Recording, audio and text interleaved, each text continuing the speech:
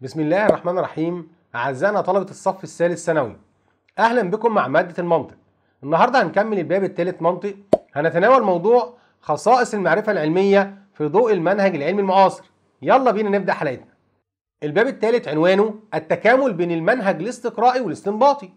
النهاردة هناخد خصائص العلم المعاصر أو خصائص المعرفة العلمية في ضوء المنهج العلمي المعاصر. أول خاصية عندي هي الموضوعية. الخاصية الثانية التحقق من صدق الفروض. الخاصية الثالثة القابلية للتعديل. الخاصية الرابعة التجريد والتعميم. الخاصية الخامسة القابلية للقياس. الخاصية السادسة التنبؤ. دي الخصائص بشكل مجمل إجمالا. هناخد كل خاصية من هذه الخصائص بالتفصيل. يعني إيه الموضوعية؟ أول خاصية عندنا هي الموضوعية. بمعنى أن العلم محايد لا يتأثر بأحكام القيمة ولا برغبات الأفراد ولا أهوائهم. أنا النهاردة بعمل تجربة علمية نتيجة التجربة بقولها زي ما هي بالظبط ماليش دعوة بمشاعري. شوف الصورة اللي قدامك دلوقتي الراجل ده ماشي على الحبل عنده حاجتين لازم يوازن بص أدي عقلك وأدي قلبك لو قلبك لو مشاعرك خدتك بس ومشيت ورا أهوائك أنت كده هتبعد عن طريق العلم. يبقى أول خاصية من العلم هي الموضوعية يعني إيه موضوعية محايد مالكش دعوة باهوائك ولا ميولك يعني إيه موضوعية؟ يعني إيه موضوعية ببعد عن الأهواء والميول مثال طبعا بندي مثال بسيط إن أنت. أنت بتشجع الأهلي أو بتشجع الزمالك ايا كان فلما الأهلي بيلاعب الزمالك أنت لو أنت راجل زملكاوي لقيت إن الأهلي مثلا كسب فبتقول والله للناس مثلا أو لأصحابك ويا جماعة والله أنتوا أفضل أنتوا كسبتوا وإحنا ما كناش النهارده كويسين وإن شاء الله الماتش الجاي هنغلبكم دي نوع من الموضوعية. إنما أنت تبقى متعصب تمشي ورا مشاعرك لا كده تفتقد للموضوعية. الموضوعية في أوقات بيجيبها لنا بمعنى تاني يقول لي الحياد أو إن الشخص يكون محايد. الخاصيه الثانية عندي التحقق من صدق الفرد. قلنا علشان أنت لو عندك فرد هو اللي بيوصلك للقانون. فالخطوة الأولى فين؟ طالما خطوة يبقى في طريق. في مسار الطريق المنهجي للوصول للقوانين والنظريات في العلم هي الاختبار الفروض. طب هل هنا في العلم بيختبروا فروض منعزلة؟ قال لك لا. لا يختبرون فروض منعزلة ولكن يختبرون أنصقة نظرية كاملة ولكن يختبرون أنصقة نظرية كاملة. مثال التجربة مثلا عندنا في الفيزياء لا يمكن أن تفند وكلمة تفند يعني تختبر أو تجرب. فرضا واحدا معزولا وإنما تفند أي أنها تختبر مجموعة نظرية كاملة. الخاصية الثانية عندي هي حقائق العلم قبل للتعديل والتغيير. شايفين الصورة اللي أمامنا الآن؟ صورة الدكتور أحمد زويل الله يرحمه. كنا معتقدين قبل الدكتور أحمد زويل إن أصغر وحدة في الزمن هي الثانية جه نيوتن وأينشتاين. وشوف عظام. يقول لك أصغر وحدة للزمن الثانية. جه الدكتور أحمد زويل اكتشف إن في وحدة أصغر من الثانية هي فهمته ثانية. فبالتالي اتغيرت النظريات يبقى النتائج التي يتوصل إليها العلماء غير نهائية وتقبل النقاش والتعديل أي أنها احتمالية. الدكتور أحمد زويل عدل قال لك لي إن أصغر وحدة للزمن ليست الثانية في وحدة أصغر من فهمته ثانية. يبقى لو جاب لك إن في نظرية جت نظرية جديدة جت كدبت نظرية قبلها أو غيرت أو تعدلت احتمالية هقول القابليه للتعديل والتغيير. طبعا أنت بتبقى مطمن جدا لما تفهم العملية بسهولة. حلو الموضوعية يعني محايد ماليش دعوة بمشاعري. طب ما الدنيا سهلة أهي. أمال الناس بتشتكي بإيه؟ وما بتجيبش درجات كويسة ليه؟ موضوعية يعني محايد قابلية للتعديل يعني العملية النظريات العلمية احتمالية. تعال بقى نشوف الأسئلة علشان التطبيقات بعد الشرح هي اللي بتفيد وتوصل المعلومة وتثبتها. سؤال بيقول لي يقول كارل بوبر إن المعرفة مكانها ليس في الأذهان بل مكانها العلمي في العالم الفيزيقي ومكانها النظري في الكتب. المقولة السابقة تثبت صحة أن العلم المعاصر تميز بخاصية. ألف. الحتمية ورفض النقاش. ب. التجريد والتعميم. ج. الاحتمالية والترجيح. د. التحرر من التفضيل العقلي. هو هنا دايما بركز في آخر السؤال لأنه بيفهمني بيسألني عن إيه؟ صحة إن العلم المعاصر يتميز. ألف. حتمية ورفض النقاش؟ لا طبعا. لأن النظريات العلمية احتمالية قلنا تقبل التعديل. التجريد والتعميم طبعا من خصائص العلم الاحتمالية من خصائص العلم التحرر من التفضيل العقلي يعني قصده الموضوعية. هقرأ السؤال تاني. إن المعرفة العلمية ليس مكانها في الأذهان بل مكانها العلمي في العالم الفيزيقي. معنى كده إن هي في الواقع والواقع بيتغير. هتبقى الإجابة عندي الاحتمالية والترجيح أي أن حقائق العلم قبل للتعديل والتغيير. ده كان سؤال العام الماضي في الدور الأول. فما جابلكش القابلية للتعديل بص جاب لك المعنى الثاني أو معنى ليها احتمالية. ما قالكش الموضوعية جاب لك معنى الموضوعية اللي هي رقم د التحرر من التفضيل العقلي. سؤال آخر. من أقوال زكي نجيب محمود لا تكن لهواك اسيرا مستسلما بل كن له غالبا طالبا. المقولة تعطي مثالا لأحد خصائص المنهج العلمي المعاصر وهي ألف القابلية للقياس ب القابلية للتعديل ج الموضوعية د العمومية. هو هنا بيقول لي إيه المطلوب مني؟ لا تكن لهواك مشاعرك. بالتالي هتبقى الإجابة الموضوعية لأن الموضوعية تعني الحياد وعدم التأثر بالرغبات أو الأهواء. سؤال آخر.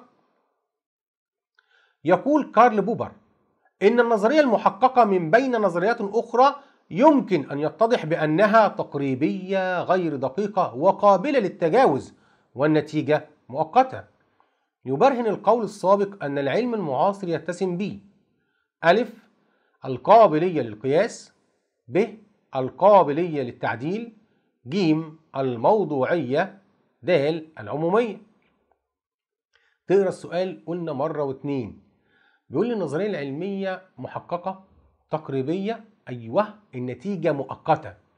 هل دي تبقى عندك إيه؟ ملهاش علاقة بالموضوعية ولا ليها علاقة بالعمومية. تبقى طالما النتيجة مؤقتة القابلية للتعديل. هنكمل بقى خصائص العلم المعاصر. الخاصية الرابعة معانا يتميز بالتجريد والتعميم لأنه عندما نصل إلى حل مشكلة معينة فإن هذا الحل ينطبق على كل المشكلات المماثلة في المستقبل. لقاح كورونا. لما العلماء توصلوا إلى لقاح للوقاية من فيروس كورونا اللقاح ده اللي, اللي نجح على ألف أو ألفين أو على مية من أفراد البشر اتعمم على كل البشر. لقاح كورونا. لما وصل العلماء إلى إن هم يوصلوا إلى لقاح يقي من فيروس كورونا الأول اللقاح ده وصلوا ونجح على كام؟ على 100 جربناه على 1000 اللقاح ده عممناه لكل الناس في كل مكان وفي كل زمان. لما انت بتاخد قطعة حديد وتجرب عليها ولقيتها بتتمدد بالحرارة بتقول كل الحديد يتمدد بالحرارة. إذا العلم يتسم بالتجريد والتعميم. يعني الحكم اللي بعد التجربة بوصل ليه ينطبق هذا الحكم في أي زمان وفي أي مكان. الخاصية الخامسة معانا قابلية قضايا العلم للقياس. دايما يا جماعة لما بنقيس بنستخدم إيه؟ الأرقام. أقول لك تعالى كده نقيس طولك.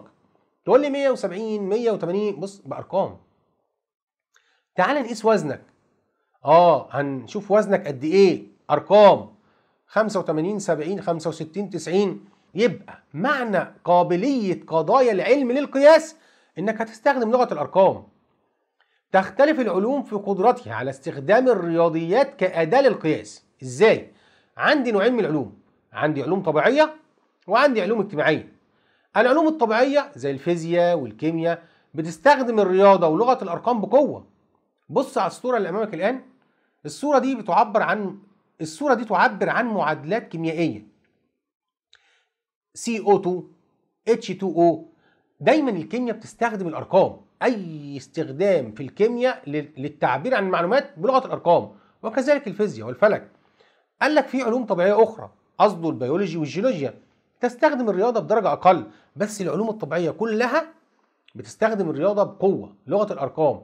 طب العلوم الاجتماعية زي علم النفس وعلم الاجتماع والفلسفة تواجه صعوبة في استخدام لغة الأرقام والقياس. إيه السبب؟ السبب إن العلوم الطبيعية فيها علاقات ثابتة. زي ثابت سرعة الضوء وثابت الجاذبية. أما العلوم الاجتماعية لا توجد بها علاقات ثابتة. وأنا هاخدك أنت أهو. أنت فيك الجزئين فيك الجزء الطبيعي وفيك الجزء الاجتماعي. أنت دلوقتي لما قيس درجة حرارتك أهي هقيس درجة حرارتك برقم صعب درجة حرارتك ثابتة عشان تتغير مش مش بسهولة إن هي تتغير ولا بسرعة تتغير. عشان لما أقيس وزنك دلوقتي وزنك دلوقتي ده حاجة ثابتة مش هيتغير آه بس مش بالسرعة. اللي هي يتغير. إنما لو قست مش... ده مقارنة بقى تعالى قيس مشاعرك. أنت وأنت فرحان وعمال تضحك حد قال لك خبر مثلا يزعلك؟ لا أنت بتنقلب وعلاقات وهنا المشاعر عندك بتتغير. يبقى العلوم الطبيعية فيها علاقات ثابتة لذلك تستخدم لغة الأرقام بقوة أما العلوم الاجتماعية ليس بها علاقات ثابتة لذلك يصعب فيها استخدام لغة الأرقام والقياس. الميزة هنا إن لغة الأرقام هي تمتاز بالدقة. خاصية الأخيرة معانا في خصائص المعرفة العلمية هي التنبؤ العلمي والمخاطرة بتكذيب النظريات. بنج... انت قصدك إيه بالتنبؤ؟ يعني نشوف الأبراج بقى ومش عارف إيه و... ونقرأ الكف والفنجان ونقلب الفنجان. لا ده هذا ليس تنبؤ علمي. عشان كده بقول لك القدرة على التنبؤ هي الهدف الأسمى والأهم للعلم. والتنبؤ هو المعيار المميز بين العلم واللا علم. الأبراج الناس اللي بتقرأ الكف الفنجان هذا ليس علم. إنما ده مجرد خرافات. ليه؟ تع... ليه بتقول كده؟ تعال بقى نقول لك إيه هو تعريف التنبؤ. التنبؤ هو قضية يتم تحديدها بدقة في صورة كمية. عشان تحددها بدقة لازم بصورة أرقام زي الطقس. تطلع الأرصاد تقول لك الحرارة بكرة. أدي قضية هي موضوع. درجة الحرارة غدا. وتقول لي العظمى وتقول لي الصغرى بتجيبها بصورة كمية بأرقام. تحدث ما سيحدث إذا توفرت شروط معينة. الفرض العلمي المقبول يترتب عليه تنبؤات يعني نتائج محددة يمكن اختبارها. زي مثلا في موضوع كورونا لما انت مثلا بتتنبأ إن لو واحد عنده كورونا يعني تتنبأ يعني بتتوقع لو عنده كورونا درجة حرارته عالية. هنا الفرد يترتب عليه تنبؤات يعني توقعات. انت هنا بتختبر بقى درجة الحرارة.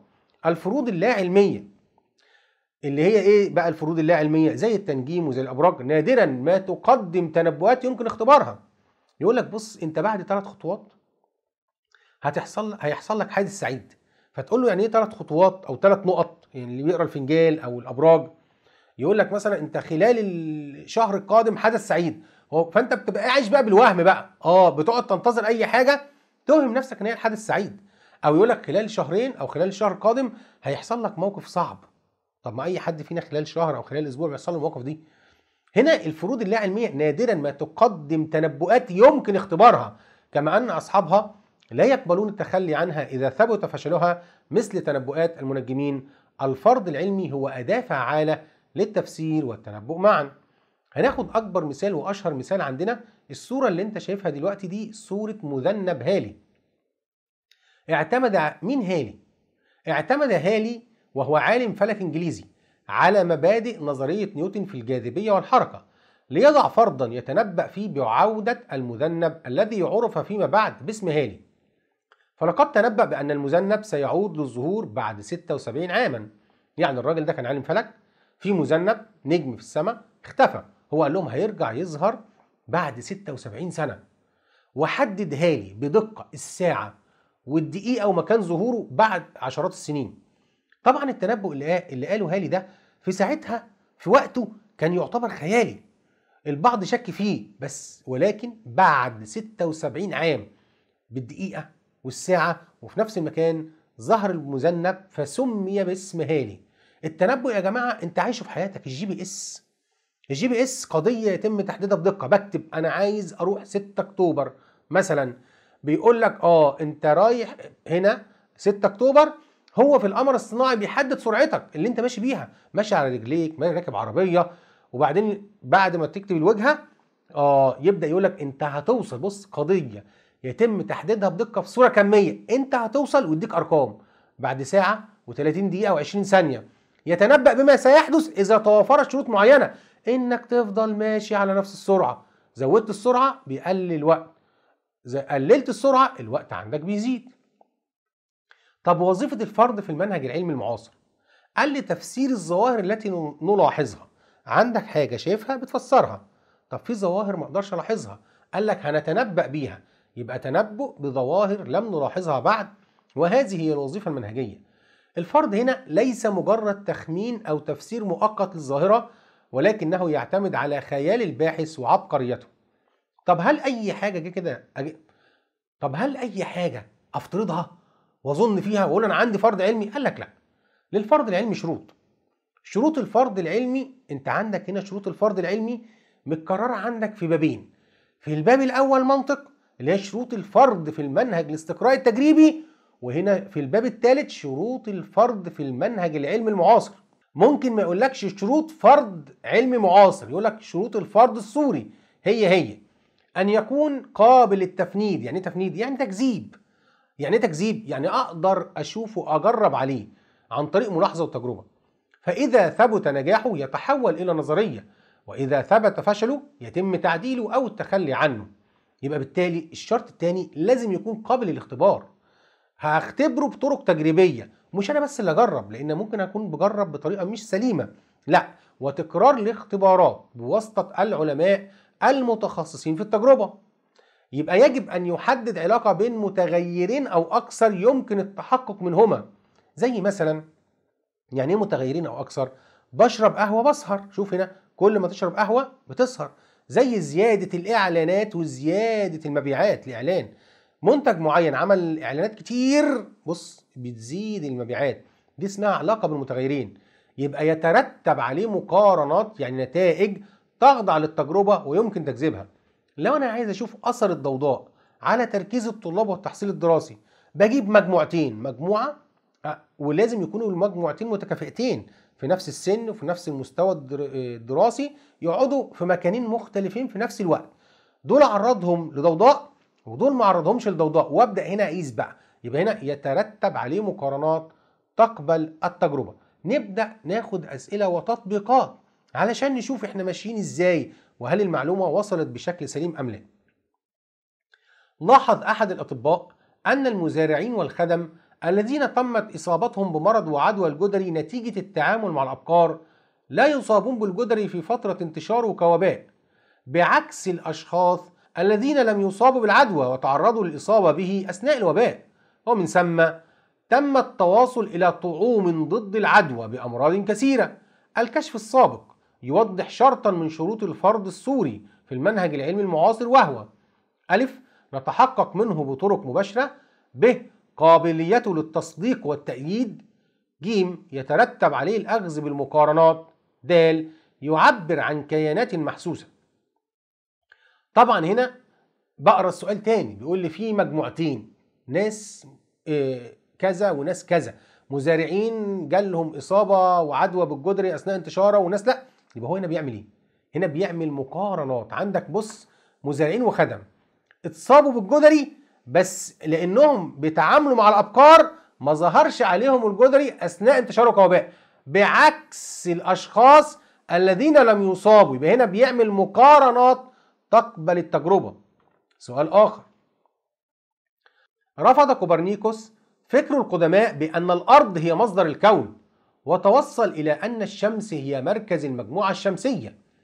يشير ذلك إلى أحد خصائص العلم في ضوء المنهج العلمي المعاصر وهي ألف القابلية للقياس ب الاحتمالية ج الموضوعية د العمومية.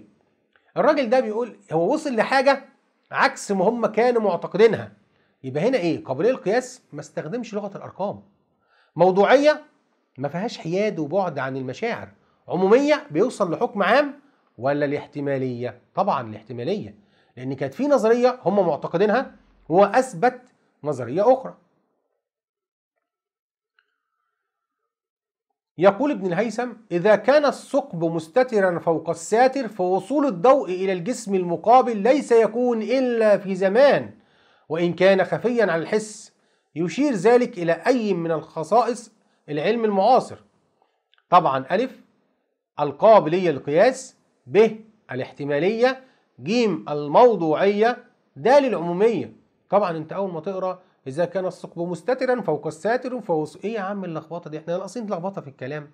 لا ما أنت الثانوية العامة دي ده كان سؤال العام الماضي. 2022 دور أول. فده اللي أنت هتشوفه. فتدرب عليه. ولما تقابلك أسئلة زي كده مش عارف الكلمات أو تتعامل معاها نقول لك تتعامل معاها إزاي؟ أنت خليك ذكي. هو الراجل ده بيعمل إيه؟ هل كلام ابن الهيثم بيثبت خطأ نظرية قبليه قبليه؟ لا يبقى مش احتمالية. هل الكلام اللي انت فهمته ان الراجل ده موضوعي يعني ملوش دعوة بمشاعره؟ لا. هل ده استخدم أرقام؟ لا. قال لك آه، إن السا... إن الجسم أو الضوء بيوصل بسرعة واداك أرقام؟ لا. ولا العمومية؟ طبعا الإجابة هي العمومية. ليه؟ لأن الراجل بي- بيحكم حكم عام. بيقول إذا كان الثقب مستترا فوق الساتر فوصول الضوء إلى الجسم المقابل ليس يكون إلا في زمان. يعني بيعمم الحكم في أي زمان وفي أي مكان وصول الضوء بيوضحه لك هيوصل إزاي. سؤال آخر. العلم ليس إلا وصفا كميا على الوسائل الإحصائية في اختزال مجموعة كبيرة من الإحصائيات.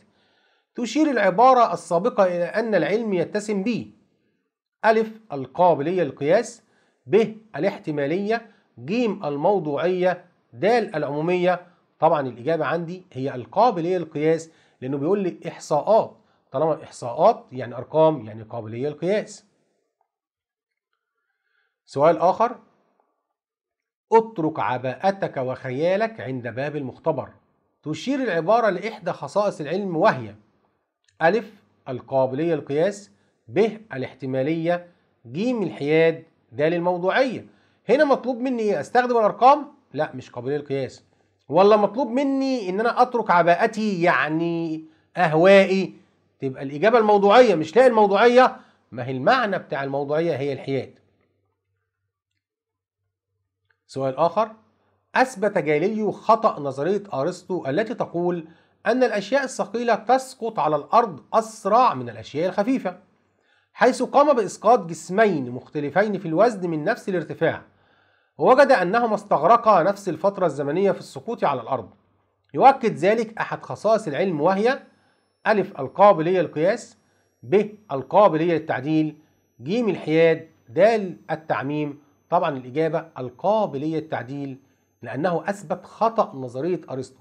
يبقى لو جت نظرية أثبتت إن في نظرية قبلها خطأ هي بتكون هنا في عملية احتمالية للعلم يعني في عملية تعديل للنظريات العلمية. وبكده نكون وصلنا معاكم لختام حلقة اليوم. وإن خير ما نختم به تحية يبدأها السلام ويتوسطها الرحمة وختامها البركة. السلام عليكم ورحمة الله وبركاته.